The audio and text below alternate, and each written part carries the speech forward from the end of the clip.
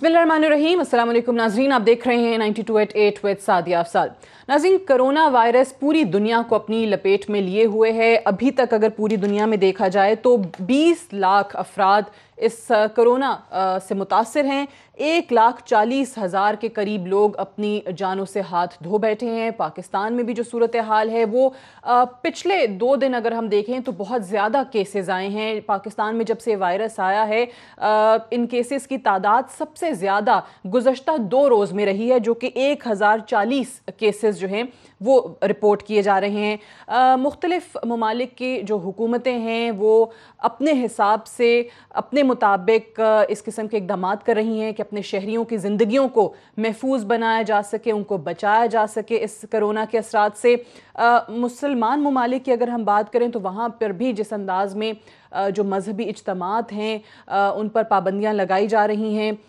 उर्दन की हुकूमत की तरफ़ से ये कहा गया कि रमज़ान मुबारक में मसाजिद में नमाज़ों की जो अदायगी है उस पर पाबंदी जो लगाई गई थी अभी वो रमज़ान में भी उसको बरकरार रखने का फ़ैसला किया गया है। दूसरी जानब मिस्र की जो जाम अजहर के उलमा की सुप्रीम काउंसिल है उनकी तरफ़ से ये ऐलान किया गया है कि इंसानी ज़िंदगियों के तहफ़ को मद्दनज़र रखते हुए बाजमात और जुमे की नमाज़ की अदायगी पर पाबंदी आयद करने के हवाले से जो बाबा फतवे हैं वो उन्होंने जारी किए हैं। आ, इसके अलावा खाना काबा और मस्जिद नबी सल्लल्लाहु अलैहि वसल्लम पर ऑलरेडी ओबियसली बंद किया गया है, पाबंदी इसीलिए लगाई गई है वहाँ पर इबादत में ताकि इंसानों की जो जानें हैं उनको महफूज रखा जा सके। उसके बाद मस्जिद अक्सा पे जो पाबंदी लगाई गई थी, उसको भी बढ़ा दिया गया है मज़ीद डेढ़ माह के लिए, यानी रमज़ान में भी ये पाबंदी इसी तरीके से बरकरार रहेगी।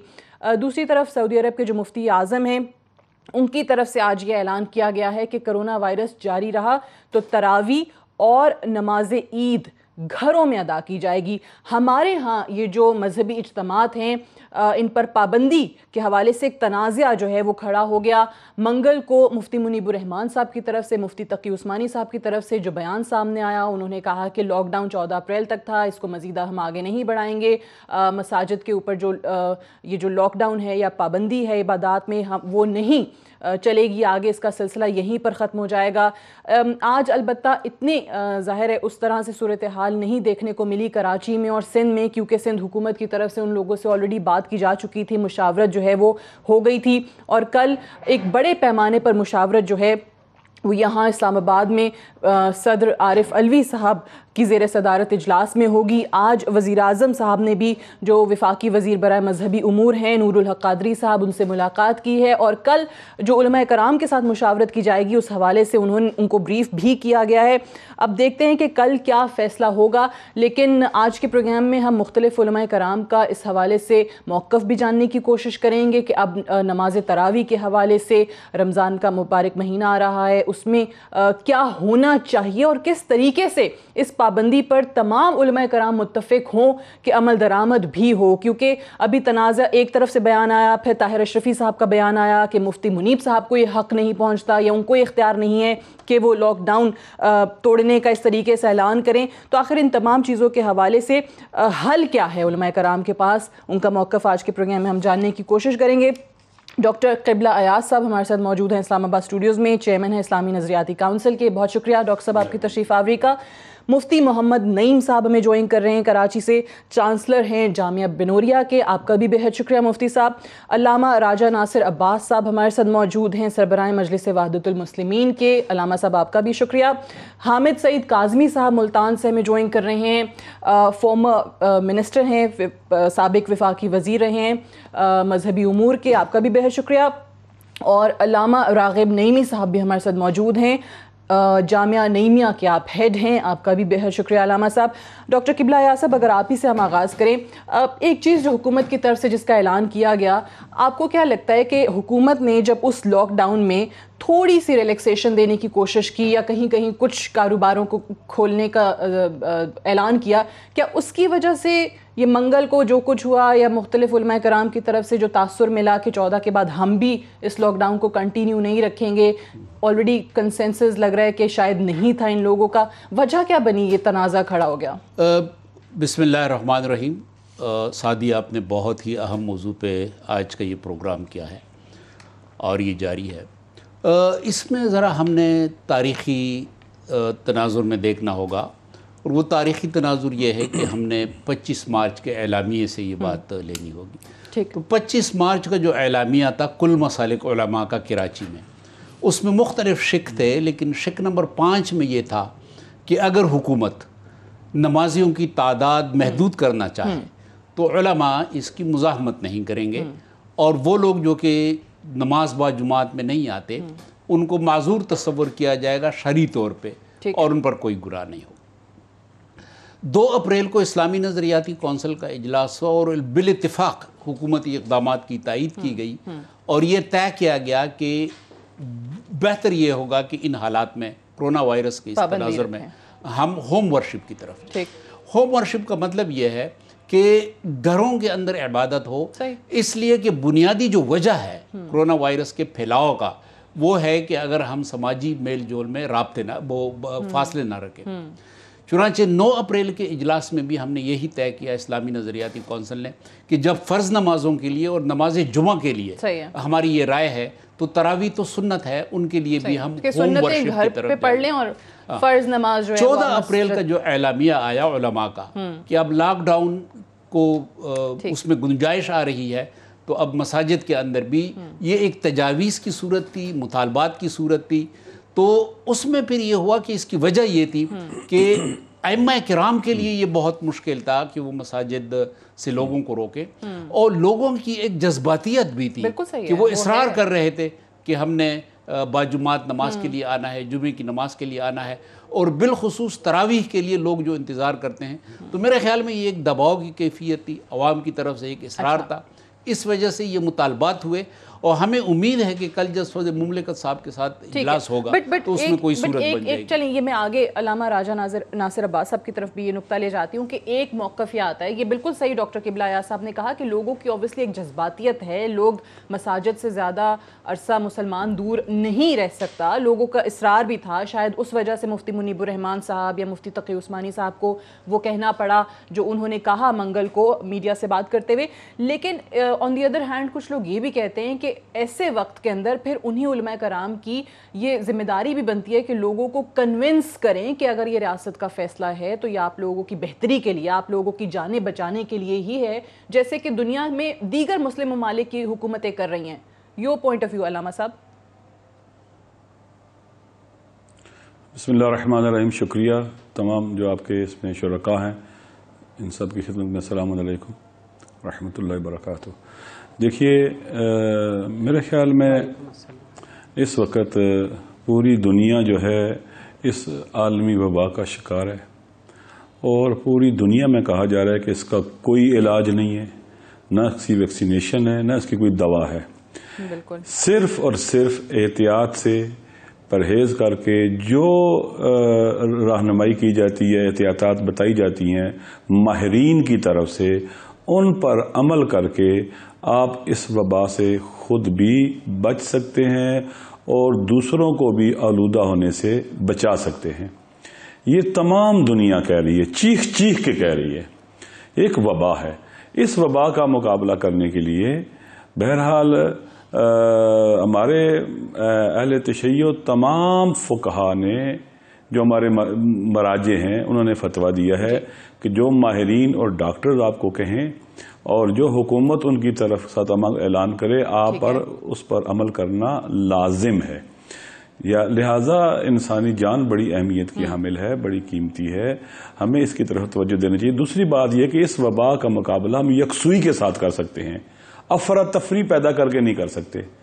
इस मुल्क के अंदर अगर हम अफरा तफरी पैदा करेंगे जिस हवाले से भी चाहे सियासी अफरा तफरी हो अफरा तफरी हो चाहे सोशली और समाजी सतह पर अफरा तफरी हो चाहे मजहबी तौर पर अफरा तफरी हो किसी किस्म की भी अफरा तफरी माशी अफरा तफरी भी अगर हम अफरा तफरी पैदा करेंगे यकसुई खत्म करेंगे आपस में उलझे रहेंगे तो फिर हम किस तरह से इस वबा का मुकाबला कर सकते हैं? इसके हमले को कैसे रोक कैसे बच सकते हैं इसका? ऐसे हम बच सकते हैं। लिहाजा मेरे ख्याल में ओकलाए आलम भी इस बात को मानते हैं। दीन भी कहते हैं, माँ जो वमा जो अलैकुम फिर दीन मिन हरज। फुकहा ने उलमा ने मुफसरी ने लिखा है कि तुम्हारे ऊपर ऐसा भी खुदा ने कानून और जबता नाफिज नहीं किया है कि तुम्हें मशक्क़त ऐसी डाल देंगे जो तुम तहमल ही नहीं कर सकते खतरनाक ऐसा काम तुमसे कहें जो तुम्हें मुश्किल का शिकार करे। यही वजह है कि दीन यही कहता है कि अगर आप खड़े होकर नमाज़ नहीं पढ़ सकते जो अकबर फरीज़ा है इस्लाम का और दीन का आप बैठ के पढ़ लो। अगर बैठ के नहीं पढ़ सकते तो आप लेट के एक जानब होके दूसरी जानब होके सफ़र में हो तो आप नमाज़ कसर हो जाएगी आपकी जो चार रकत है वो दो रकत हो जाएगी। खौफ की हालत में बाज फुका का फतवा है कि एक रकत नमाज़ पढ़ लो। हमारे अल सनत भाइयों के फतवाएँ मैं आज पढ़ रहा था, देख रहा था उनको। लिहाजा मेरे ख्याल में इस वक्त हुकूमत को चाहिए कि इस तरफ़ तोज्जो दे यकजेती यकसुई पैदा करने के लिए गैप ऑफ़ कम्युनिकेशन को खत्म करे कोऑर्डिनेशन को बेहतर करे और अपने कामों को बेहतर करे जो कोरोना के हवाले से जो उन्होंने क्वारंटाइन सेंटर बनाए हुए हैं जो लैब टेस्ट है तोज्जो दे। हुकूमत को और उमूर की तरफ़ नहीं उलझना चाहिए कभी। हम देख रहे हैं इस मुल्क के अंदर जब मीडिया देखते हैं यूँ लगता है कि यहाँ पर असल कोरोना वबा है ही नहीं है किसी कोई और मसाइल पैदा हो गए हुए हैं। कोई और मुश्किल है उनको पहले हमने हल करना है।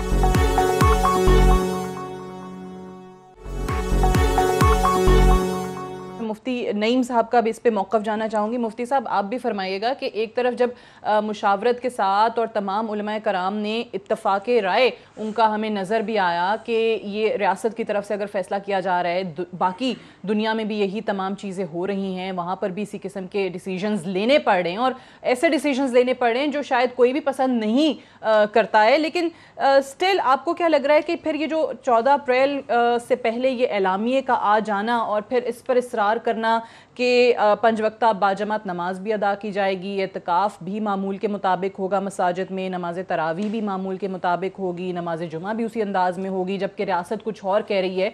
सो, ज़रूरत क्या पेश आई ये ऐसा डिसीज़न लेने के लिए? और फिर ऑब्वियसली अगर कराम जो हैं, वो ऐसा ऐलान करते हैं तो उनकी फॉलोइंग भी बहुत ज़्यादा होती है फॉलोअर्स भी बहुत ज़्यादा होते हैं, वो भी कायल होते हैं, वही उनके ऐलान पर अमल करने के लिए। बसमीम बात यह है कि उलमा ने जी। फैसला कर लिया था कि जो रियासत ने कहा है उसी के ऊपर चला जाए। हम्म। और उसमें जो है महदूद तरीके से जुम्मे में और आम नमाजों में लोग आए।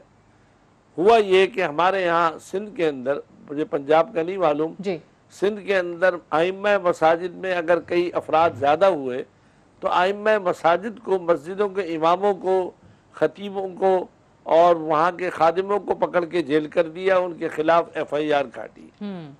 तो अब जब एफ़ आई आर काटी उलमा ने हुकूमत से रुजू किया कि भाई इमाम का क्या कसूर है? अगर लोग ज़्यादा हो रहे हैं तो इंतज़ामिया की ज़िम्मेदारी है रियासत की ज़िम्मेदारी है कि लोगों को ना आने दें। इमामों ने ऐलान भी किया मसाजिद के अंदर कि भाई लोग ज़्यादा ना आए। और फ़र्ज़ नमाज़ पढ़ के चले जाए घर से वज़ू करके आए। सही। लेकिन जब उनके खिलाफ एफ़ आई आर कटी और उसके बाद बहुत से उलमा ऐसे हैं मस्जिदों के इमाम जो जेल की सिलाखों में चले गए तो उसकी वजह से उलमा के अंदर एक बात पैदा हुई कि जब बाजारों के अंदर रश लगा हुआ है और सुपर मार्केटों के अंदर है हम्म। और हर जगह रश लगा हुआ है तो आखिर मसाजिद से क्यों रोका जा रहा है? तो उन्होंने ऐलान कर दिया जो मैं समझता हूँ कि उनके लिए उस वक्त ठीक नहीं था क्योंकि वो रियासत से बात करते रियासत ऐलान करती क्योंकि उलमा के हाथ में कोई निज़ाम नहीं है कोई सिक्योरिटी नहीं है कि वो रोक सके। उलमा ने पहले ऐलान कर दिया कि मस्जिदें खोल दी जाएँगी। ठीक। और जब ऐलान कर दिया तो हुकूमत को चाहिए था कि फिल्फ और उलमा को बुलाते और कहते कि आपने क्यों ऐलान किया? उन्होंने इंतज़ार किया तीन दिन हो गए किसी ने कोई रबता नहीं किया अरबाब हुकूमत ने और रबता नहीं किया। यहाँ तक कि रात को जाके वज़ीर आला ने कुछ थोड़ा बहुत रबता किया बाज उलमा से। सही है। तो मेरा ख्याल से ये है कि इस जब हम सुपर मार्केट के लिए सब्ज़ी मंडियों के लिए हजूम होते हुए अगर पाबंदी है लॉकडाउन है तो हर एक के लिए लॉकडाउन होना चाहिए। हम्म। अब अगर मसाजिद में लगाया जाए और इबादत खानों के अलावा दूसरी जगह आम इजाज़त दे दी जाए तो ये भी जो है कोरोना के फैलने का सबब अच्छा, है। ये तमाम चीज़ों को एहतियात की जाए। अब अगर सऊदी अरब में है तो सऊदी अरब वालों ने ये किया है कि तमाम मसाजिद भी बंद किए हैं और कर्फ्यू लगाया है। हम्म। यहाँ लॉकडाउन ऐसा है कि जिसकी मर्ज़ी में चाहता है हज़ारों आदमी जमा हो जाते हैं। और जहाँ जमा नहीं होते ये नहीं होते बिल्कुल ठीक है तो ये तफरीक की वजह से हम्म। सही ये एग्जैक्टली तो जहाँ से हमने आगाज़ किया था कि आपको लग रहा है कि ये क्योंकि सिलेक्टिव मामला है या पिक एंड चूज़ हो रहा है या कुछ लोगों को जो है रियायत बढ़ती जा रही है जिस तरह आपने शॉपिंग मॉल्स का या कुछ दुकानों का ज़िक्र किया कुछ कारोबारी सरगर्मियाँ खोलने की बात हुई मुफ्ती रागिब नईमी साहब आपकी तरफ़ भी इसी पर मैं आपको मौकफ चाहूँगी कि वाकई ये वजह है और ये ये मुफ्ती नईम साहब कह रहे हैं कि अगर सऊदी अरब है या दीगर ममालिक हैं तो वो सिर्फ़ मसाजिद को बंद नहीं कर रहे हैं, उनके यहाँ बाकी भी जितने भी मराकज़ हैं, चाहे वो कारोबारी मराकज़ हों या कोई और, सबको उसी तरीके से बराबर बंद किया हुआ है। लेकिन हमारे यहाँ शायद तफरीक की वजह से ये चीज़ कराम महसूस कर रहे हैं। इज़ दैट करेक्ट मुफ्ती साहब? बसमीम बड़ा अहम नुकता चल रहा है, जो इस वक्त जिसके ऊपर बहस हो रही है। मैं थोड़ा सा ज़रा आपसे वक्त लेना चाहूँगा मैं ज़रा डिटेल से बात करना चाहूँगा। सबसे पहली बात तो ये है कि कोरोना वायरस के इस पैंडेमिक में दो फ़िकी आरा हमारे सामने आई।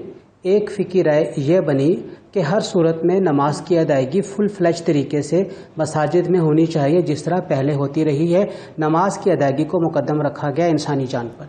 दूसरी फ़िकी राय इवन पाकिस्तान के मुख्तलिफ़ की तरफ़ से भी ये सामने आई कि इंसानी जान की हरमत और इसकी हिफाजत ज़्यादा है इबादत से इंसानी जान बचेगी तो इबादत भी हो जाएगी, मस्जिदें भी आबाद हो जाएँगी और फिर से दोबारा ज़िंदगी ऐसी रवा दवा हो जाएगी।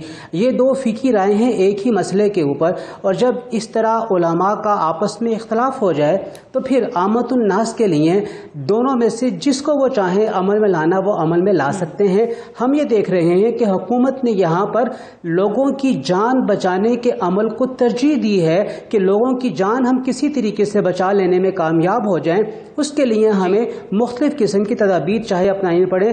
उसमें हमने लॉकडाउन भी किया हमने कुछ को इजाज़त भी दी कुछ को इजाज़त नहीं भी दी। मुफ्ती नईम साहब ने बड़ी अहम बात की है कि लॉकडाउन प्रॉपरली नज़र नहीं आया। लेकिन उससे पहले हमें एक और बात की तरफ़ भी जाना है कि लॉकडाउन तो चौदह तारीख के बाद वफाकी और सूबाई हुकूमतें एक पेज पे नज़र आ रही हैं लेकिन उससे पहले हम ये देखते हैं कि सिंध हुकूमत का लॉकडाउन के बारे में अपना नज़रिया है वफाक का अपना नज़रिया बन रहा है पंजाब का अपना नज़रिया बन रहा है। हकूमती लेवल के ऊपर वफाक और सूबों में कहीं भी एक पेज के ऊपर कोई राय नज़र नहीं आई जिसकी वजह से आवाम भी बहुत ज़्यादा कन्फ्यूज़न का शिकार हो गई। अब सदर मोहतरम जनाब आरिफ अलगी साहब ने कोई दस दिन कबल कराम की मीटिंग की जिसके नतीजे में कुछ चीज़ एक पेश के ऊपर आई कुछ सेंसिस डेवलप हुआ। मैं फिर दोबारा जाऊँगा जिस तरह डॉक्टर किबला या साहब चेयरमैन इस्लामी ज़ाती कौंसिल ने यह फरमाया कि जो 25 मार्च का एलामिया है हमें 25 मार्च के एलामिया को ही सामने रख कर अपने तमाम मामला को तय करना होगा। लाहौर पंजाब की जब हम बात करते हैं पंजाब में हुकूमत पंजाब ने को शुरू ही से ऑन बोर्ड रखा, जिसकी वजह से यहाँ पे इस किस्म के मामला पैदा नहीं हुए। इवन उलमा की तरफ़ से एस ओ पेश किए गए। हमारे अदारे जामिया नीमे की तरफ़ से भी हमने एस ओ पी पेश किया जिसमें हमने इस बात को रखा कि आप जो तीन से पाँच अफराद को लेकर चल रहे हैं नमाजियों के तौर पर, ऐसी मस्जिद जो बड़ी है, जो सैनिटाइजेशन का अमल कर सकती है जरासीम कुछ गुजरगाहें बना सकती है। हम्म, वो हम्म, हम्म। अपने यहाँ इतनी अफराधी कुत रखती है कि उनके यहाँ 200 300 बहुत अच्छे तरीके से उस तमाम एहतियाती तदाबीर से नमाज़ अदा कर सकते हैं। यानी परमिशन होनी चाहिए। कि ये अगर इंतज़ाम हैं और जैसे आपने कहा कि एस ओ पीज का ख्याल रखा गया है तो फिर ऑब्वियसली वहाँ के लिए पैमाना मुख्तलिफ़ किया जा सकता है। ब्रेक के लिए मुझे कहा जा रहा है ब्रेक से वापस आके बात करते हैं। ये जो एस ओ पीज की बात की जा रही है कि अगर मसाजिद में तमाम सोशल डिस्टेंसिंग हो गई मास्क सैनिटाइज़र्स और तमाम चीज़ें कारपेट्स हटा दिए। जैसे काजमी साहब ने बात की कि अगर इन चीज़ों का लिहाज रखा जा रहा है तो फिर क्या इस जानब जाया जा सकता है? मेरा सवाल फिर वही होगा, क्या क्या इस मामले में हमें एक यूनिफॉर्म्ड पॉलिसी की ज़रूरत है? सूबे अपना ज़ाहिर अठारहवीं तरमीम के बाद आज़ादी से ख़ुद मुख्तारी से पॉलिसी बना रहे हैं, विफाक की अपनी पॉलिसी है। इस मामले में क्या कराम हुकूमत से, रियासत से एक पॉलिसी चाहते हैं? किस पर अमल दरामद होना चाहिए? मज़ीद बात करेंगे एक वक्फे के बाद।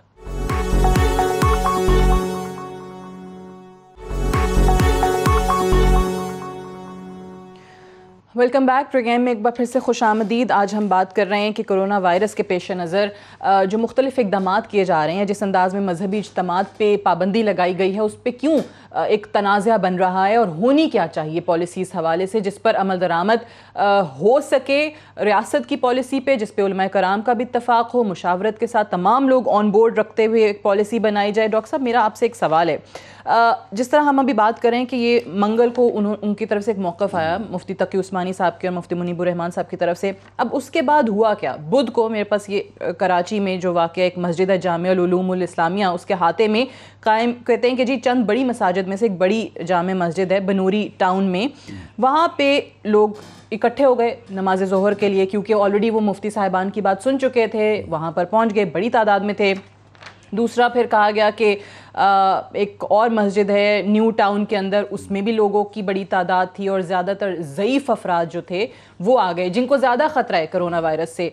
अब दाखिली दरवाज़ों पे कहा कि जी सैनिटाइज़र्स कहीं पर हैं कहीं पर नहीं है। अब मेरा सवाल ये है कि हम बार बार कह रहे हैं कि एस ओ पीज़ पर अमल दरामद हो रहा है तो फिर कोई मसला नहीं है।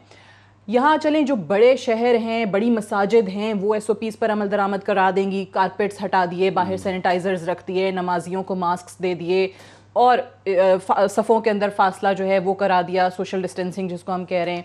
लेकिन जो छोटे शहर गाँव हैं देहात हैं जो छोटी मसाजिद हैं वहाँ पर तो शायद लोगों को इस चीज़ का भी एहसास नहीं है कि जी कोरोना वायरस क्या है सैनिटाइज़र क्या होती है वहाँ तालीम की भी कमी है शूर नहीं है लोगों को वहाँ कैसे आप एस ओ पीज़ पर अमल दरामद करा सकते हैं? आ, बिल्कुल सादिया ये जो आपने बातें की ये बहुत मुश्किल सूरत हाल है हम्म। हमारे अंदर।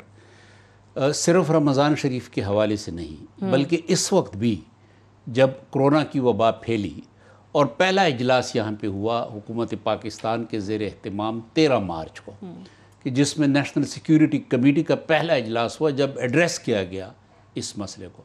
इसके बाद आप देखें कि एक शूर की कैफियत तो पैदा हो गई लेकिन सिर्फ़ बड़े शहरों में।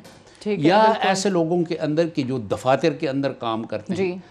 आज भी अगर आप देहाती इलाकों में जाएँ तो वहाँ पे किसी किस्म का शोर इस हवाले नहीं से है, नहीं है। बिल्कुल। और बुनियादी बात इसमें यह है कि अगर किसी इलाके में कोरोना वबा का शिकार अफराद नहीं है तो इसका मतलब ये नहीं है कि वहाँ पे नहीं होगा। क्योंकि हर बंदा जो है वो पोटेंशली एक कैरियर है। चुनाचे इस वजह से मैं तो ये समझता हूँ कि एक कौमी यकजहती और कौमी वहदत पर मबनी पॉलिसी हम्म। बनानी होगी। और सूबों के अंदर जिस तरह अलामा रागिब नईमी साहब ने तवज्जो दिलाई हम्म। एक फुकदान है यकजहती का। उसके लिए भी मैं समझता हूँ कि जो एक वजारत है आप, आप यकीन करते हैं इस चीज़ पे कि यूनिफॉर्म पॉलिसी उस मामले में? यकीनन होनी चाहिए। सूबों की और विफाक की एक पॉलिसी हो। बिल्कुल एक पॉलिसी होनी चाहिए। देखिए ये ऐसी वो बात नहीं है कि अगर आप सिंध के अंदर एक पॉलिसी बना लें तो हम्म। फिर पंजाब के अंदर उसके असरात नहीं अभी लेकिन कंफ्यूजन है यही चल रहा है ना। मैं मैं मैं लॉकडाउन है कहीं पर लॉकडाउन है एक हम्म। वजारत है इंटर प्रोविंशियल अफेयर्स की वजारत। कौमी यानी सूबाई सूबाई रवाबित की वजारत। उस वजारत को बहुत अहम काम है हम्म। इस वक्त। मैं हैरान हूँ कि वो वजारत इस वक्त कहाँ गायब है। उसको बड़ा फ़ाल रोल अदा करना चाहिए था ताकि जो भी पॉलिसी बने उसकी ज़िम्मेदारी बैन सूबाई रबती की जो वजारत है वो ले ले हम्म। और इस बात को यकीनी बनाए कि हम एक कौमी वहदत पर मबनी एक पॉलिसी बना लें। क्योंकि जिस तरह बैरूनी हरकत जो है या बैरूनी असफार जो है उनको तो रोक दिया गया लेकिन अंदरूनी असफार मुसलसल जारी हैं। और इस वजह से ख़तरात बहुत ज़्यादा हैं और जब तक यकजहती पर मबनी एक पॉलिसी ना हो तो हम एक बहुत मुश्किल सूरत हाल से दो चार हो सही। अच्छा अब अलामा राजा नासिर अब्बास साहब इसी को आगे बढ़ाते हुए अब यकसुई की सब बात कर रहे हैं कि जी एक ही पॉलिसी होनी चाहिए तमाम लोगों को ऑन बोर्ड होना चाहिए और फिर उस पॉलिसी पर मुकम्मल अमल दरामद हो सर फहरिस्त जो है वो यही चीज़ होनी चाहिए हुकूमत की ज़िम्मेदारियों में से इस वक्त। आ, लेकिन जब कराम हुकूमत की तरफ़ से या रियासत की तरफ़ से बनाई गई पॉलिसीज़ के हवाले से आ, ये कहना शुरू कर दें चंद एक जिस तरह अभी हम मुफ्ती तकी उस्मानी साहब का और मुफ्ती मुनीबुर रहमान साहब की बात कर रहे हैं कि ये अगर तादाद मुतन की जा रही है कि तीन से पाँच लोग जो हैं वो नमाज़ अदा कर सकते हैं वो कहें कि ये भी माकूल बात नहीं है। आ, वो मुफ्ती नईम साहब ने जो बात की वो बिल्कुल सही है कि शायद एक ये भी वजह बनती है कि वो कह रहे हैं कि जी जो मस्जिद के अंदर इमाम हैं या दीगर लोग हैं अमले के, उनको अगर आप अरेस्ट कर लें या उन पे एफआईआर आप दर्ज कर दें तो ये भी इंसाफ की बात नहीं है। लेकिन हुकूमत की पॉलिसी बनाने बनते वक्त तो आपको इस सच इख्तलाफ नहीं था। उसके बाद क्या हुआ कि आपने तादाद मुतन करने में भी कहा कि कोई माकूलियत नहीं है हुकूमत की तरफ़ से। देखिए जी कि इससे पहले कि आपके सवाल का जवाब दूँ, हम एक ऐसे मुल्क में रहते हैं जिसमें कानून की कोई हरमत नहीं है, कानून का तकदस नहीं है, कानून को पाँव तले रौंदना एक रवाज है जिस मुल्क के अंदर। हम तो उस मुल्क में रहते हैं कि जिसके आइन की भी कोई हैसियत बाज नहीं रहती, और आमर आता है, उसको उठा के परे फेंकता है। कानून शिकनी का रवाज है। जो स्कूलों में कानून शिकन होता है मुझे जीदार कहते हैं। ये बड़ा जीदार है, कानून शिकन है, बहुत बड़ा। एक बात यह है, नंबर दो, मुल्क ऐसे नहीं चलते कि जिसकी लाठी, उसकी बैंस नहीं, मुल्क के अंदर एक रियासत और अफसोस के साथ कहना पड़ता है कि गुजशत सत्तर साल से ज़्यादा अरसे में पूरी कोशिश की गई कि इस रियासत की चूल्हे हिलाके से खत्म कर दिया जाए। एक कमज़ोर बिसाखियों के साथ खड़ी है रियासत। अब, अभी एक्सपोज हो गई है। दुनिया जैसे एक्सपोज हो रही है। कोरोना वायरस की वबा के दौरान इस वक्त हमारी रियासती इदारे, हमारी हुकूमत, हमारे हुक्मरान ये एक्सपोज हो रहे हैं कि हमारा सिस्टम इंतहाई कमज़ोर है, हमारी रियासत इंतहाई कमज़ोर है और इस मुश्किल घड़ी के अंदर भी कोई चीज़ लागू नहीं कर सकती, नाफज नहीं कर सकती। नंबर एक। नंबर दो देखिए अगर कोई गलती करता है उसकी गलती को देखकर हमें गलती करने का हक नहीं है। कि हम चूँकि वो गलत कर रहे हैं हम भी करेंगे। नंबर तीन हम्म। नंबर तीन आप कहते चार या पाँच बंदे मस्जिद में आ सकते हैं। कौन तय करेगा कौन से चार पाँच आएँगे और बाकी लोग नहीं आएँगे? ये कैसे होगा? नंबर चार ये कहा जाता है जी कि सेहतमंद लोग हैं सेहतमंद लोगों को क्या कोरोना नहीं लग सकता? उसमें शायद बड़े बड़े सेहतमंदों को लगा हुआ है। अपने लोग लिहाजा मेरी मेरी अमले लोग बिस्मिल्लाह अमल हो जाए। अगर इस तरह से अगर मुहैया हो जाए कि मस्जिद के अंदर के करीब के लोग चार पाँच दस जो भी उस मस्जिद के साइज़ के मुताबिक है वो नमाज़ पढ़ सकते हैं खुदा का घर भी आबाद रहे और वो तमाम की तमाम एहतियाती जो तदाबीरन पर अमल भी हो जाए तो कोई मुश्किल भी पेश ना आए। लेकिन अब कैसे कह सकते हैं कि ये पाँच चार पाँच आ सकते हैं बाकी नहीं आ सकते सारे जाएँगे वहाँ पर। मेरे ख्याल में इस वक्त जो चीज़ नज़र आ रही है कि यहाँ पर रियासत नाम की कोई चीज़ नहीं है पाकिस्तान में इस वक्त। हमारे इदारे कमज़ोर हैं डिलीवर नहीं कर पा रहे। आपका खुद मेडिकल का शोबा वजारत सेहत एक्सपोज हो चुकी है सिफर है आपकी वजारत सेहत। अभी तक ये लोग दुरुस्त लोगों के टेस्ट करना कोरोना टेस्ट करने के बंदोबस्त नहीं कर सके हैं। 45 डेज़ से लोग क्वारंटाइन सेंटर में हैं और वो अभी तक उसी तरह से इंतज़ार कर रहे हैं। कई कई दिन लग जाते हैं टेस्ट करने के ऊपर। इन्होंने बाहर से चीज़ें मंगवाई नहीं है। कुछ नहीं किया जो करना चाहिए था। अच्छा। और जब एक यलगार वबा शुरू हो गई है तो अभी इनके हाथ पाँव फूले हुए हैं। मेरे ख्याल में मेरे ख्याल में ओलमा को भी अच्छा। बाकी लोगों को भी खाली उलमा को हमें आ, आ, हमें यहाँ पर। खाली इस मसले को नहीं उठाना चाहिए। अब आप आए आप देखें जो शहरों के अंदर हो रहा है ये भी मसला उठाया जाए कि भाई ये शहरों के अंदर क्यों इस तरह से लोग गुल मिल रहे हैं? बाज नाके के ऊपर इस तरह से चेक कर रहे थे कि इतनी लंबी लाइन लगी होती है। मैं उस दिन आया इतना बड़ा नाक दूर तक लाइन लगी हुई थी और लोग गुल मिल रहे थे और लोग रुके हुए थे वहाँ पर। हज़ारों गाड़ियाँ खड़ी थी। मेरे ख्याल में एसओपी दे दी जाए। और खुदा न खास्ता की खिलाफ वर्जी हो तो ये ना करो कि मौलाना साहब को उठा के जेल फेंक दो और तोहिन को और इस तरह की और आपने लोगों को एजुकेट करना है ये ये ये बात जो उस दिन भी कही गई कौमी इदारों ये गलत है कि एफआईआर जो है वो काट दी जाए। हुकूमत ने खिलाफ वर्जी की थी ये भी कहा गया ना उस दिन कि ये हुकूमत की तरफ़ से खिलाफ वर्जी की गई है अपनी बात की कि एफ़ आई आर हमारे लोगों के खिलाफ मसाजिद इमा, इमाम के खिलाफ और उनके मस्जिदों के अमलों के खिलाफ जो है वो कटवा दी गई उनको ठीक है मैं मुफ्ती नईम साहब का भी मौकफ इस पे जानना चाहूँगी कि बिल्कुल सही कह रहे हैं कि जी बहुत सारी जगहों पर आपने जो पॉलिसीज़ तय की हैं उस पर अमल दरामद नहीं हो रहा। आप एसओपी तय कर दें। अब कल जो प्रेसिडेंट साहब की मीटिंग है इधर इस्लामाबाद में और ऑब्वियसली दीगर सूबों के लोग भी और वहाँ से भी उलमा कराम वीडियो लिंक्स के ज़रिए उसमें शिरकत कर रहे हैं कि एक पॉलिसी तय हो जाए रमज़ान मुबारक को लेकर ईद के हवाले से कि क्या करना है। आपको लग रहा है कि इस पर क्या क्या आपकी तजावीज़ क्या होंगी? अगर मुफ्ती नईम साहब मैं आपसे पूछ सकूँ कि क्या होना चाहिए? क्योंकि अभी तक वो एस ओ पीज़ जो रियासत की तरफ़ से तय किए गए उसमें अब पहला लॉकडाउन ख़त्म होने के बाद एतराज़ात उठना शुरू हो गए जिसका हम ज़िक्र कर रहे हैं। बात यह है कि कल मशवरा होगा उसमें मुझे भी बुलाया है तो मैं भी हूँगा बात यही की जाए कि चूँकि ये आलमी वबा है हर जगह फैली हुई है तो को भी इस बारे में सोचना चाहिए। अवामनास को हजूम लगाकर ऐसा ना हो कि अवाम मसाजिद के अंदर मसाइल पैदा हों। और तो इसके लिए गौर किया जाए, लेकिन साथ में यकसानियत हो। मैं जब बाहर निकलता हूँ तो पता चलता है कि मसाजिद में तो है, और बाहर जो है वो हज़ारों आदमी जमा है। और ये है तो कल अगर मशवरा हो तो उसमें ये यकसानियत हो कि वाक़ता ये वबा है, और इस बारे में जो रियासत का है और जो वजारत सेहत के है उनकी बात पर उलमा को भी चलना चाहिए हम्म। और अवामुन्नास को भी चलना चाहिए हम्म। ताकि ये मामला जो है जल्द से जल्द जो है अल्लाह ताला बट बट मैं आपसे आपकी पर्सनल राय इस वक्त आई एम श्योर ऑब्वियसली कल आप प्रेसिडेंट साहब की उसमें मीटिंग में भी ये बात करेंगे बट मैं आपसे इस वक्त अपनी आपकी पर्सनल राय जानना चाह रही हूँ कि आप क्या कहते हैं कि ये पाबंदी जो है इस को रिलैक्स किया जाए ये जो तयन किया गया तादाद का ये सही है या इसको ख़त्म किया जाना चाहिए आप क्या समझते हैं मेरी ज़ाती राय ये है कि कल जब मशवरा होगा हम्म। तो उसमें वजारत सेहत के लोग भी होंगे। जी। उनकी उनकी राय भी सुनी जाए कि इस वक्त हालात क्या हैं। उनके सामने पूरी दुनिया के हालात हैं। बिल्कुल। तो वो जो बताएँगे उसके मुताबिक जो है ना उलमा को बैठकर एक पेज पर जमा होकर फैसला करना चाहिए।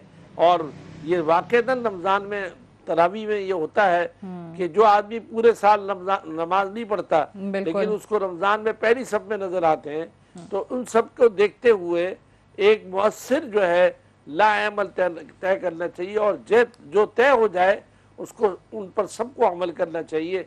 इन अल्लाह ताला खैर फरमाएँगे इस मसले ठीक है आपने कहा वजारत सेहत जो तय करे और जो मुनासिब समझे उस पर अमल दरामद होना चाहिए। मैं एक ब्रेक ले लूँ ब्रेक से वापस आके दीगर अपने शुरा के पास भी जाएँगे और उनसे भी इस हवाले से तजावीज़ लेंगे। कल बड़ा अहम ये एक इजलास है। प्राइम मिनिस्टर साहब ने भी इस हवाले से ख़ास तलकिन कर रखी है। विफाकी वज़ीर बर मजहबी उमूर नूर कादरी साहब की मुलाकात भी हुई थी। कल प्रेसिडेंट साहब ने तमाम कराम को मुल्क भर से बुलाया हुआ है। वीडियो लिंक्स पे ऑब्वियसली वो लोग शरीक होंगे।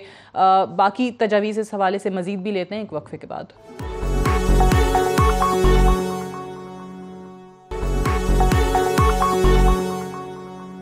वेलकम बैक प्रोग्राम में एक बार फिर से खुश आमदीद पूरी दुनिया में हम देख रहे हैं कि हुकूमतें इकदाम ले रही हैं। मुस्लिम ममालिक का भी ज़िक्र हम कर रहे थे कि मजहबी इज्तम के हवाले से पाबंदी है। मुफ्ती रागिब नईमी साहब, आपसे भी मैं तजावीज़ ही सबसे पहले तो जानना चाहूँगी। आज करोना वायरस को सामने रखते हुए ही सऊदी अरब के मुफ्ती आज़म ने कहा कि अगर ये इसी तरीके से जारी रहा तो नमाज़ तरावी भी लोग घरों पर अदा करेंगे और ईद की नमाज़ भी घरों पर ही अदा की जाएगी। आप क्या समझते हैं कि हमारे यहाँ ओबियसली ये एक संगीन सूरत हाल तो इख्तियार करता ही चला जा रहा है। जैसे पिछले दो दिनों में केसेस की तादाद में मज़ीद इजाफा हुआ है। तो यहाँ पर हमारे कराम भी इस जानब सोच रहे हैं, क्या करना चाहिए? कल बड़ी अहम मीटिंग भी है एक। मेरा ये ख्याल है कि हमारे कराम अभी ईद के बारे में नहीं सोच रहे, अभी तो वो सिर्फ़ माह रमज़ान की तरावी की नमाज़ के बारे में सोच रहे हैं, जिनकी हैसियत सुनत मौक़ा किसी है। और इससे कबल नमाज़ जुमा और आम नमाज़ों के बारे में तो 25 मार्च के में ही फ़ैसला हमारा सामने आ चुका है, जो कि नुकता नंबर पाँच की सूरत में भी मौजूद था। मैं यहाँ पे एस ओ पीज़ मैंने भी तैयार किए तेरह रकात थी, जो कि मैंने कल पंजाब हुकूमत को दे दिए हैं और शायद उन पर भी कोई बात हो। उसके दो बड़े अहम नकात मैं यहाँ पे आपके सामने भी रखना चाहूँगा। एक पे मैंने पहले भी बात कर ली कि मस्जिद की हैसियत और उसके सिस्टम को देखते हुए कि वो कितनी प्रिवेंटिव एटमॉस्फेयर अपने आने वाले नमाजियों को दे सकता है, उसके मुताबिक इसकी परमिशन होनी चाहिए। नंबर टू मस्जिद कमोबेश में सिर्फ़ पंजाब की बात करता हूँ बावन हज़ार मस्जिदें पंजाब में हैं जिनमें से सिर्फ़ चार सौ सैंतीस वो महकमा अवकाफ के पास है बाकी तमाम की तमाम प्राइवेट कैपेसिटी में है। हर मस्जिद की एक इंतज़ामिया होती है बिलमूम जिसमें एक सदर और एक सेक्रेटरी होता है। तो मैं ये समझता हूँ कि हुकूमत को मस्जिद इंतज़ामिया के साथ बातचीत करनी चाहिए कि आप मस्जिद के कस्टोडियन हैं मस्जिद आपके ज़रिए इंतज़ाम है हमें यह परेशानी है आप आके बैठिए और हमारे साथ इस मामले को काबिल कबूल हल की तरफ़ लेकर आइए क्योंकि इमाम खतीब कमोबेश पंजाब की पैंतालीस हज़ार मसाजिद के अंदर जो इमाम और ख़तीब है वो एजाजिए पर मस्जिद में खदमा सर अंजाम दे रहा है और जिन्हें सदर कमेटी और जनरल सेक्रेटरी की तरफ़ से एजाजिया पेश किया जाता है। तो हमें उस आदमी के साथ बात करना है ठीक है। जो कि मस्जिद को चला रहा है जो कि मस्जिद के मामला को डील करता है और ये वही आदमी है जिसकी पूरी की पूरी इलाके के अंदर और पूरे उस मोहल्ले के अंदर एक वकार होता है और एक व्यार होता है जिसकी बुनियाद पे वो तमाम लोगों को राज़ी कर सकता है और राज़ी कर भी लेना चाहिए उसे।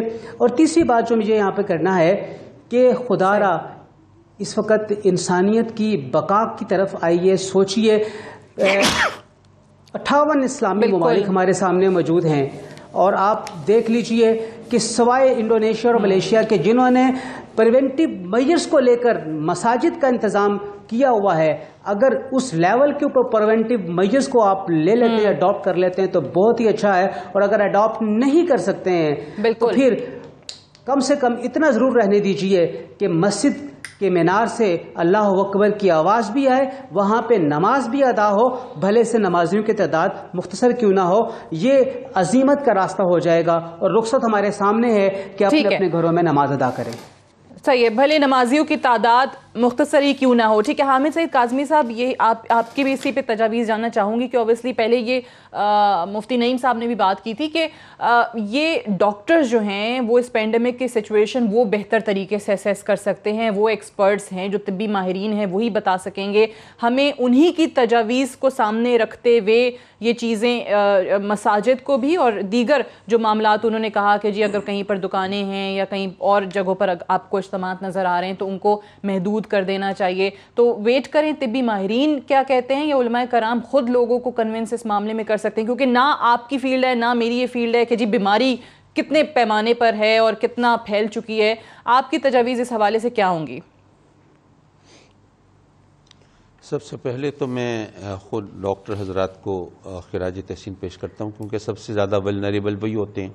और यहाँ मुल्तान के अंदर निश्तर हॉस्पिटल के अंदर कई डॉक्टर्स के बारे में ये पता चला कि वो भी कोरोना के शिकार हो गए तो अल्लाह ताला इन सबको अपनी अमान में रखे। दूसरी बात यह है कि हमें तो उनकी तरफ़ से जो कुछ डायरेक्शंस दी गई हमने उनको टोटली ऑब्ज़र्व किया। उसमें अपनी तरफ़ से कोई प्लस माइनस नहीं की। नहीं जी ये हिफाजती तदबीर हम इख्तियार कर सकते हैं ये नहीं कर सकते। जी फ़िका ये कहती है तो हम कंधे से कंधा मिलाकर जोड़कर खड़ा होना लाजमी है। हम यही करेंगे। हमने ये तमाम चीज़ें नहीं की। जो कुछ हमें इंस्ट्रक्शंस दी गई हमने उनको ऑब्ज़र्व करने का फैसला किया।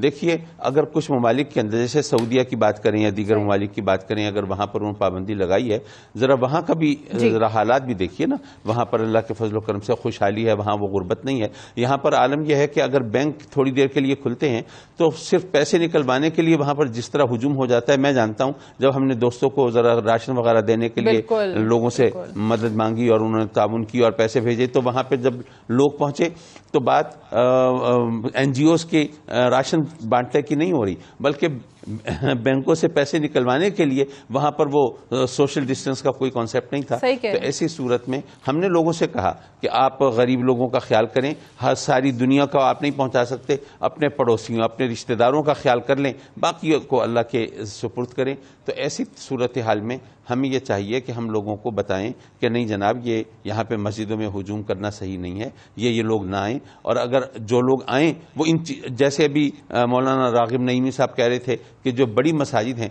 अब मैं जिस मस्जिद में मैं जुमे के लिए हाजिरी देता हूँ, वो तकरीबन 48 कनाल पर मुश्तमिल है। अब वहाँ पर उस मस्जिद में आप कहें कि नहीं जी सिर्फ़ पाँच आदमी नमाज़ पढ़ सकते हैं तो ज़ाहिर है कि एक मज़ाक महसूस होगा ना। तो ये तमाम चीज़ें ज़रूर ऑब्ज़र्व करें। और अगर ऐसा एक बाहमी फाम तफीम के साथ कोई चीज़ सामने आएगी तो ज़ाहिर है कि उस पर अमल करना आसान होगा और हम सब मिलकर अमल करेंगे और ज़ाहिर है कि हुकूमत की तरफ़ से जो डायरेक्शन आएँगी हम उस पर अमल करना चाहेंगे। रब हमें इस वबा से अहम सजेशन है जो आप लोगों की तरफ़ से आई भी। लास्ट कॉमेंट अगर डॉक्टर साहब आप इस पर देना चाहें कि ऑब्वियसली जो बड़ी मसाजिद हैं और जो तमाम हिफाजत हिफाजती तदाबीर इंश्योर कर सकती हैं आने वाले नमाजियों के लिए। वहाँ पर अगर सोशल डिस्टेंसिंग और सफ़े छोड़ के लोग नमाज़ अदा कर रहे हैं तो उसमें कोई मजायका नहीं होना चाहिए। सैनिटर्स सैनिटाइज़र्स अगर पड़े हुए हैं दाखिली रास्तों पर गेट्स पर और मास्क दिए जा रहे हैं तो फिर क्या मसला है? बिल्कुल जी। यही है कि इस वक्त जो हमारे माहरीन सेहत हैं उनकी इस वक्त जो राय है वो यही है कि कोई वैक्सीन नहीं है कोई इलाज नहीं है। प्रिवेंशन। सिर्फ़ प्रिवेंशन है और वो है कि नॉन फार्मास्यूटिकल इंटरवेंशन के गैर अद्वियाती जराए जो हैं वो इस्तेमाल करें और उसमें सबसे अहम जो है वो समाजी फासला।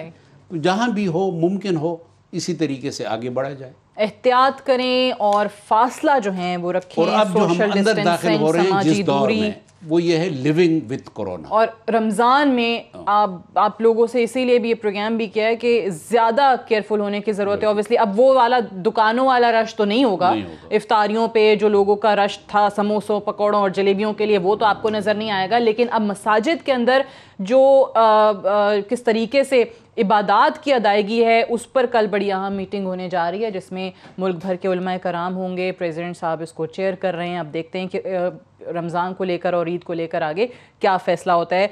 बहुत शुक्रिया डॉक्टर किबला अयाज साहब मुफ्ती मोहम्मद नईम साहब अलामा राजा नासिर अब्बास साहब हामिद सईद काजमी साहब और अलामा रागिब नईमी साहब का आज के प्रोग्राम में हमें ज्वाइन करने के लिए। That's all for tonight I see you tomorrow इंशाल्लाह। इजाज़त दीजिए खुदा हाफ़